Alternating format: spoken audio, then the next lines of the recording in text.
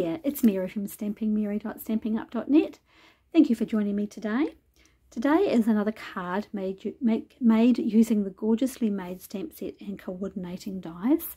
This is a square card, so I don't often make these ones, but I think this particular stamp set and dies is just such a pretty set, and these square cards I think are just something for a really special occasion.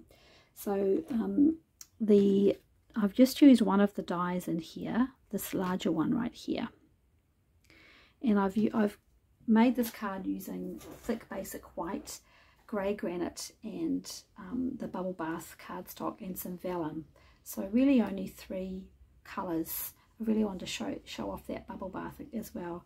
And I think it contrasts nicely with the grey granite cardstock. So let's go ahead and get it made. So I'm going to bring in my cardstock. So I've gone ahead already and embossed this top piece here in this thick basic white using the um, uh, embossed tile, uh, sorry, the embossed or distressed tile or embossed tile. I'll just double check what that one's called. I'll put it just put it in the description bar below. But it's one of my most favourite, um, one of my most favourites embossing folders at the moment. And then we've got our basic thick basic white and then two pieces of grey granite, one for the top layering and then one for the inside layering as well. I haven't done any stamping on the inside but I just like to carry through the um, edging there. So before we get started I'm just going to do a little bit of splattering with the grey granite um, Stampin' Write marker just to give a little bit more just so it's not quite so white on white. So just a little bit. You put down as much as you kind of feel um, is warranted. it's one of those things. Sometimes you can just get carried away with the splattering, or I can anyway. Here we go. So that's that one done. Now I've gone ahead already and die cut this big piece twice. Oops, here it is. Um, I cut one in vellum and one in bubble bath and I'm just going to put it together just with a little bit of um, Tombow. Just attach them now. You won't see the Tombow.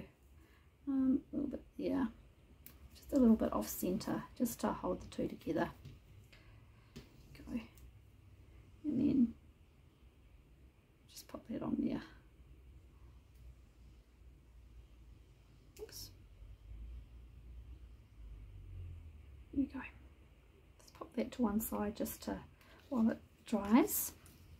Now the sentiment, you're a great friend. There's also a die in here which cuts that fabulous shape. I have gone ahead already just to save time and pre-stamped in um, Versamark and then heat embossed with white embossing powder uh, for that one. And it's a very easy card to put together actually. Um, the trickiest bit really is making the making this faux ribbon, making it, uh, getting it centered correctly sounds ridiculous doesn't it that a ribbon's the hardest bit to do? So all I did was fold I didn't make a I have made a, a faux bow, bow. So I've just made that figure eight and then just going to put a piece of some stamp um, Stampin' Seal just in here straight down because the ribbon's going to go down first. I'm just going to put that in the middle there and then I'm just going to put another little bit of Stampin' Seal down if it'll let me just to hold it in place should be okay. And then we're going to pop this one on with some more um, Tombow. So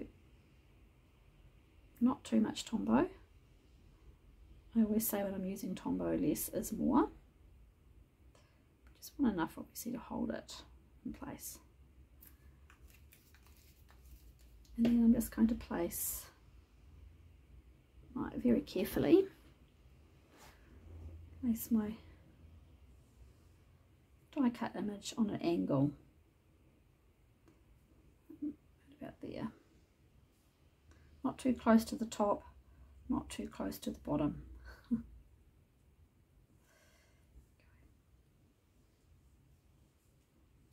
think I might have the ribbon up a little bit too high. Let me just see if I can move it down ever so slightly. Should make should let me lift it off. Yeah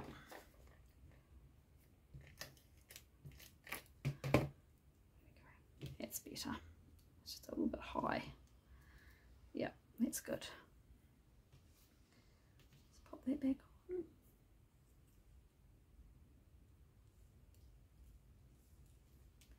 Alright, so it's just going to take a couple of minutes. Once we put the sentiment over it, we'll actually hold it on place a little bit more.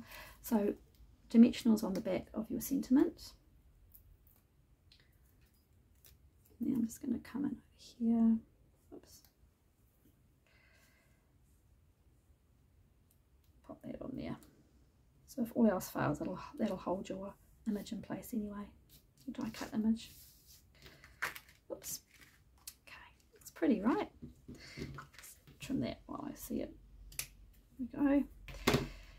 And I'm going to put a little bit of um, baker's, uh, sorry, linen thread just to make another little bow. Because I really like, I like linen thread. I really like linen thread.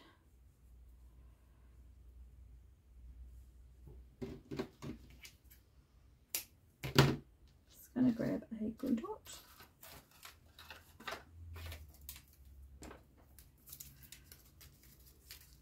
pop a glue dot on there.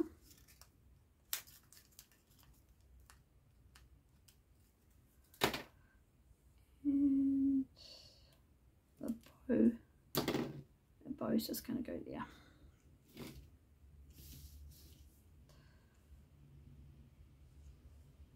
I want it on another angle.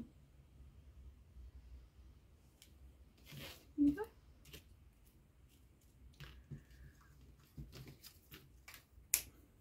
Right. We are going to put some um, sequins on here. These are the um, pastel pastel adhesive um, sequins, but let's just put the card together now. So I cut um, I cut my um, Whisper White and Grey Granite with a very, very small um, margin. So you're just seeing a peek of colour really, which is how I like it. Very narrow mat is the correct term, I think. Okay, that's for the inside. Let's do the outside. Um, it would actually actually look quite pretty with the bubble bath um, if you just wanted to keep sort of a couple of colours going. I love that bubble bath. Um, yeah, the bubble bath would look nice as a mat as well. Yeah, I just think of these eight, these square cut cards as sort of a, they're a great card if you've got, if you're maybe giving it and you want um, more than, you know, a few people to sign the card, maybe as a birthday card or a, um, someone's leave, a leaving card or something like that. Gives you plenty of room uh, for signing on the inside if you want to write their, um, their messages and then of course you can just um, make an envelope to fit using designer series paper if you want to or plain white cardstock which is probably what I'll do at some point and then this is going to go on with dimensionals it's just another way to use that really pretty um, the really pretty dies in this die set. Uh, I've put a link um, to the Gorgeously Made suite, or set I should say. There's actually some beautiful designer series paper that goes, coordinates beautifully with this set. Um, really, really pretty paper. Quite bold. Um, if you have a look through the catalogue and this Stampin' Up catalogue, you'll, you'll um, at this suite you'll see the paper. It's so pretty. But yeah, I've put a link to this product anyway. Um, and it's a bundle, so you buy the stamp set and the dies. You're saving some money when you're buying it all at the same time. Just place that on the middle and on top there.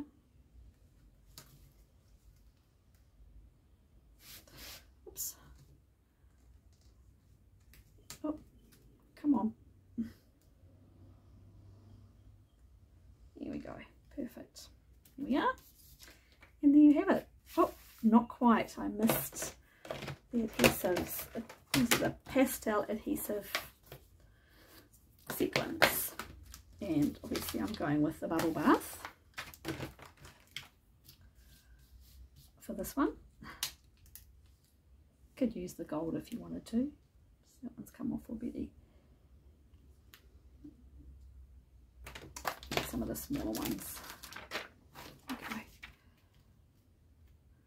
I've uh, used these quite a lot, as you can probably see. Now, one of my favourites. I do like the past pastel colours. And there you have it. Not really that difficult to make but a really pretty very dainty card using the gorgeously made stamp set and dies. I hope you enjoyed that video. If you have any questions please don't hesitate to contact me stampingmerry at gmail.com thank you so much. Bye